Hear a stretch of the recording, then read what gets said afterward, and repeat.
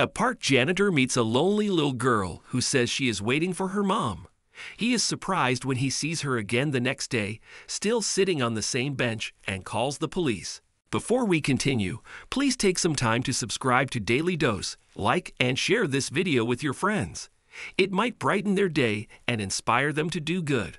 Also, keep watching because an important lesson awaits at the end of the video. Albert Fairchild was the custodian of a lovely old Victorian park in the middle of the city, and his time was spent making sure it was a little corner of heaven, a place where lovers met and people went to get in touch with nature or for a little peace of mind.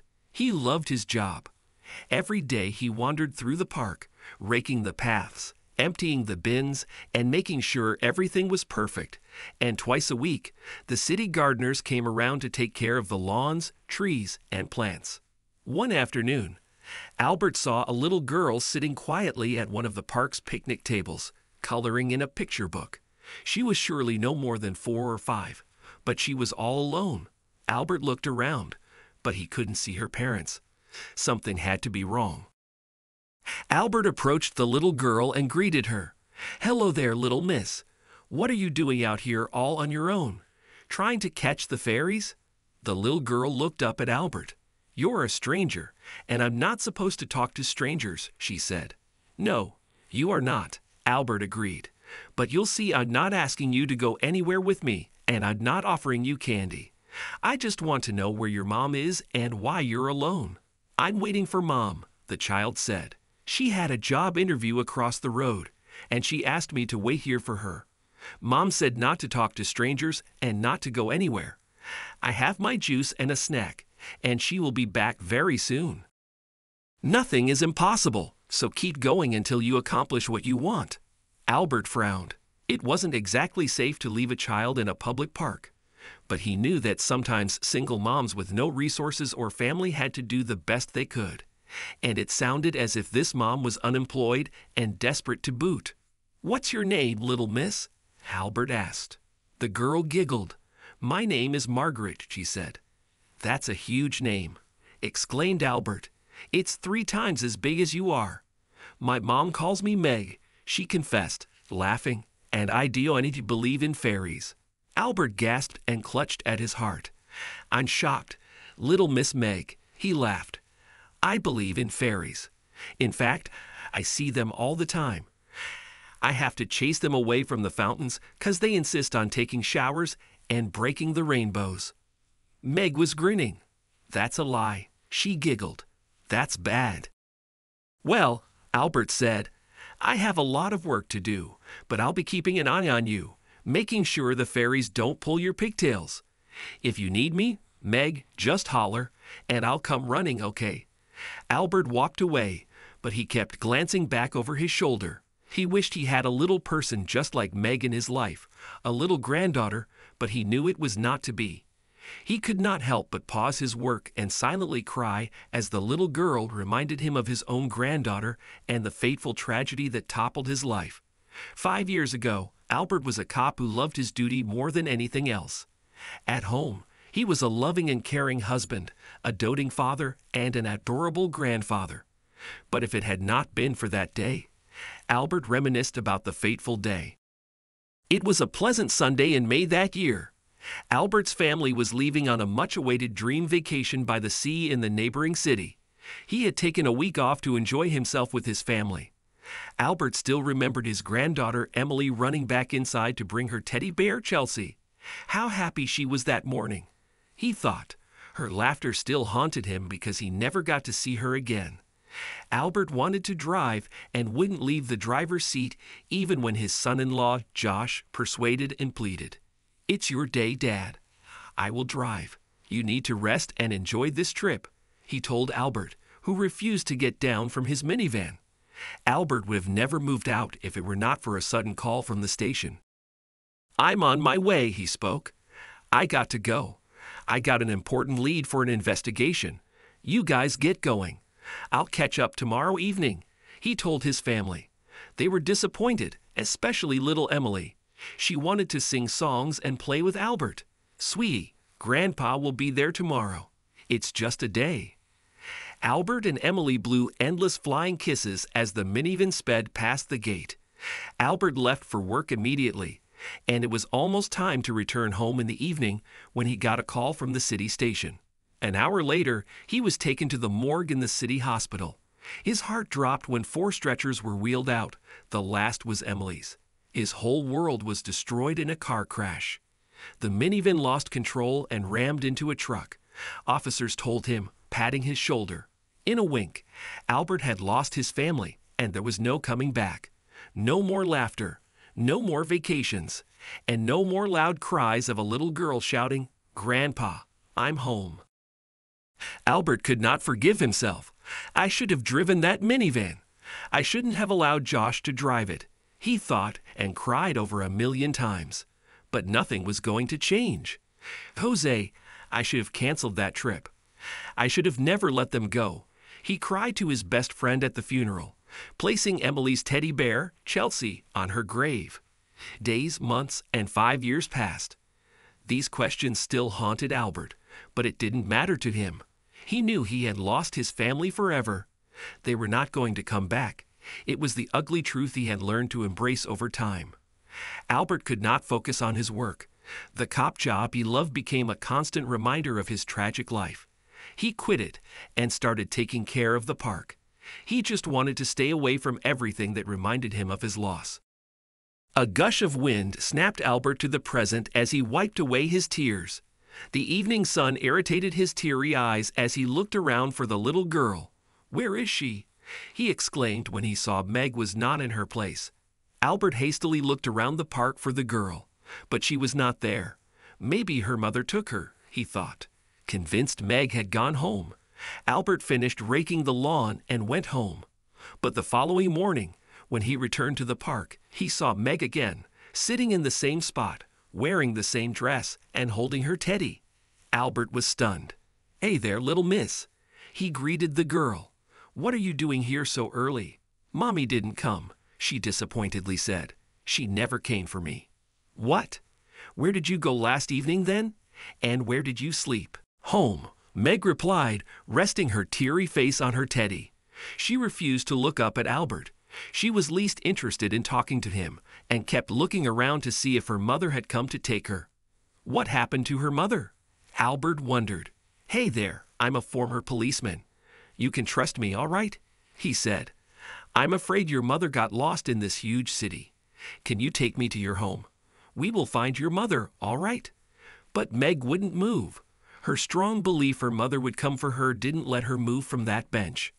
Meg, listen, I know you are frightened, but there's nothing to be afraid of. You can trust me, okay? What's your mother's name? When Meg told Albert her mother's name, she had difficulty pronouncing the surname. Albert asked Meg to repeat the word several times because he knew he could not search for her mother without knowing the surname. He needed her full name to probe everywhere, including online databases.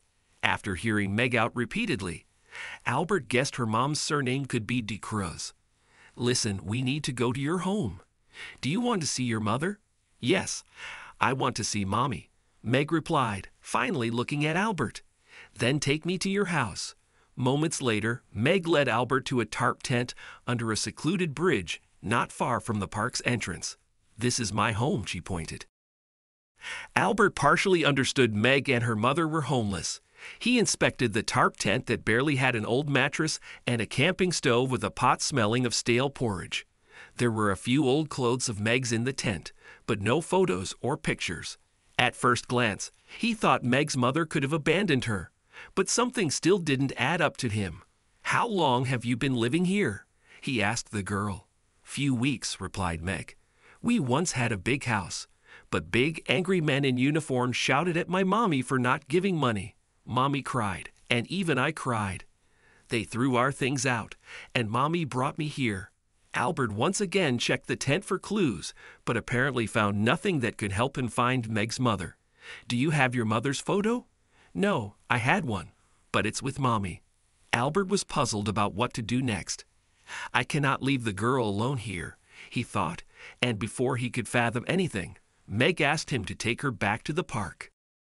Mommy told me to wait there and not go anywhere. If she comes, she will scold me. Please take me to the park. Albert did not know what to do and agreed. Meg and he returned to the park, and he sat her down on the bench. Albert knew Meg would have starved the whole night, so he gave her his lunch. Mommy told me not to eat from strangers. Meg refused, but her eyes and nose couldn't deny the delicious aroma of the pie in Albert's lunchbox. Um, that tastes delicious. Sweet. Um. Albert ate a spoonful in front of Meg. If you don't want it, I'll eat it fully. I can finish the whole pie in two minutes. You sure you don't want it? Meg grabbed the lunchbox and started devouring the pie. Albert was pleased his trick worked and went on with his work while Meg waited for her mother. Hours passed, and it was close to sundown, but her mom never came. Meg burst into tears, and Albert's heart wouldn't allow him to leave her alone again. Do you want to go home with me? We will come back tomorrow and wait for your mother, all right? He asked Meg. Meg agreed and went home with Albert. Yeah, I only know her name is Margaret, but I don't have a clue about her mother. Could you please let me know? She said her mom has blonde hair, is tall. Age must be around two four or two five, I guess. Albert informed his former colleagues in the department. Meg could not spell her mother's name accurately and gave vague descriptions of her appearance. But Albert could not say anything for sure. He made out a name and a surname using Meg's broken spellings, but was unsure if it was correct. When will Mommy come? Meg asked Albert. She will come soon, sweetie. Now go to that room and change your dress. You'll find a lot of clothes in the little cupboard. I'll make dinner meanwhile. Meg returned minutes later wearing Emily's pajamas. She ran around Albert as he whisked the eggs and giggled to an old song playing on the gramophone. For the first time in five years, Albert never felt lonely. Albert was on the phone the whole night as Meg slept in Emily's room. He wanted to find her mother at any cost and was busy working at it with his friends. No, pal, an officer called him late at night. We even checked reports of murders of young women with similar descriptions and surnames, but no lead. There were known instances reported recently. Albert sighed, assured Meg's mother was alive somewhere. While putting out the lights in Emily's room, he saw Meg curled up and fast asleep on her bed. Albert was up until the wee hours, gathering contact details of hospitals in the city. He suddenly woke up when the morning rays irritated his sleepy eyes. He was exhausted and had slept off in his armchair. Oh my God, Meg! He ran to check on her, thinking she would have gone to the park alone while he was dozing. Jesus! Thank goodness! He sighed when he saw she was still fast asleep. Albert then contacted every hospital in the city to find out about Meg's mother. He even reached out to a friend in the morgue, but nothing helped. Nobody had heard about the woman with his description and surname. Albert was puzzled about what to do next. Cops will hardly try and carefully look for a homeless woman. And if I have to send her to a foster home, she'll likely never see her mother again, he thought. Then, Albert realized that the only reliable way to help Meg was to search for her mother on his own. It was not for nothing he was a cop for 30 years. Albert brought Meg to the park every day and sat her in the exact spot her mother last left her. He asked his friends to watch over her while he searched for the missing woman. Albert knew he could not do all this while working, so he took a few days off.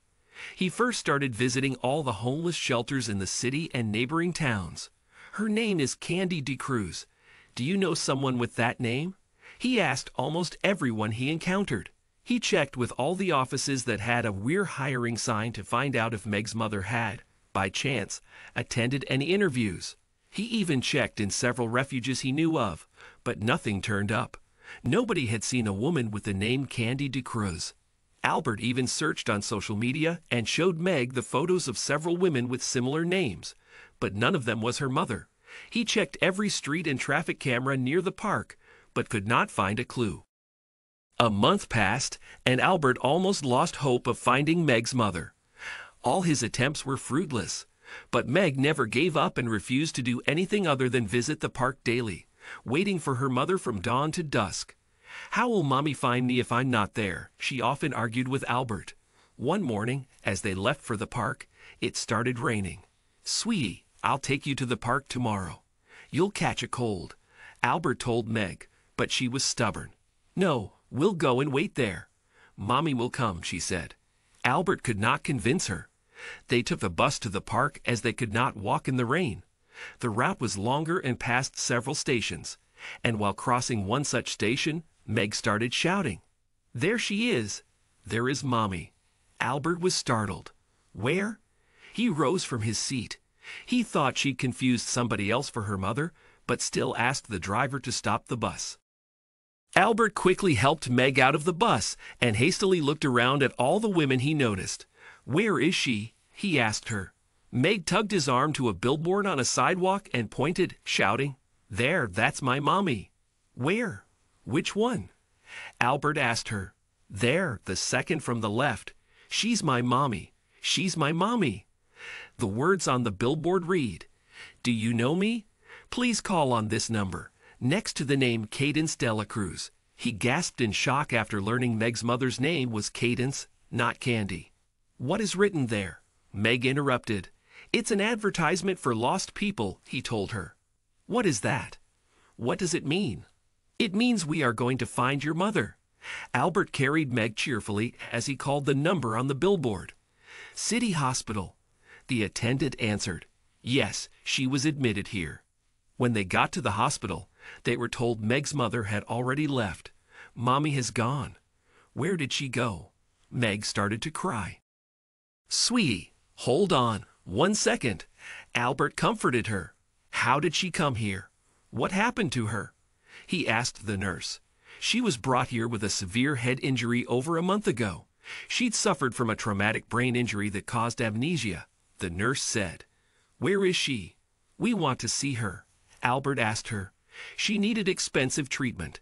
She was in a coma for a few weeks and could not recall anybody when she woke up. Nobody came to take her. We even advertised her name and picture, but nobody turned up. She was discharged last week and sent to a shelter for the homeless. Albert was afraid Meg would lose her mother again. He then rushed to the shelter with the girl.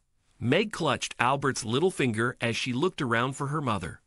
Then she ran as fast as her little legs could carry her toward a bed in a corner. Mommy. She cried and ran to her mother. Mommy, where did you leave me and go? Cadence had a photo of them together and remembered Meg was her daughter as soon as she saw her and heard her call her mommy. I don't know, sweetie. She burst into tears. Albert was speechless and moved at seeing Meg laughing and crying with her mother. You need to come with me, he interrupted. Where and who are you? Cadence asked. I'm Albert. I'm a janitor in the park. I found your daughter. He paused. I'll explain everything later. You and Meg need to come home with me now. Albert took Cadence home and offered to stay in his house as long as she wanted. He spent all his savings on her treatment. It took several months before Cadence could recall some crucial moments of her life. Being around her daughter helped her to a great extent. Gradually, Cadence remembered everything, and Albert was curious to know how she had hurt herself. My husband had mortgaged our house, she recalled. I was not able to pay the loan after he died in an accident. Our house was taken, and then I rented a small room with my daughter. I lost my job, and my landlord kicked us out for not paying rent. After she was stranded on the street, Cadence could not find a job almost immediately. She did not want her daughter to live in the shelter for the homeless, so they temporarily camped in the tarp tent under the bridge. Albert felt sorry for Cadence and sighed with relief things ended well for her and Meg. But how did you get hurt? He asked her. Cadence recalled that fateful day and broke down. I was going for a job interview. I left my daughter in the park because I thought leaving her alone in the tent would be unsafe. I told her to wait there until I came. Cadence revealed. I remember I slipped and fell in the underpass. My head hit the edge of the staircase, and I blacked out. When I woke up, I was in the hospital. I could not remember anything. I'm glad you are safe, my dear. And I'm really happy Meg found you. She missed you so much. Albert teared up. Cadence and her daughter lived with Albert until she found a job. A few months later, she dated Frank, a widower with two children, and married him. Cadence and Meg moved into their new house and were always thankful to Albert for his help. He was happy for them, although he knew he would miss Meg terribly. Time passed, But Meg and her mother never forgot Albert. They became a part of his family and constantly visited him on the weekends. And every summer, they even vacationed together by the sea.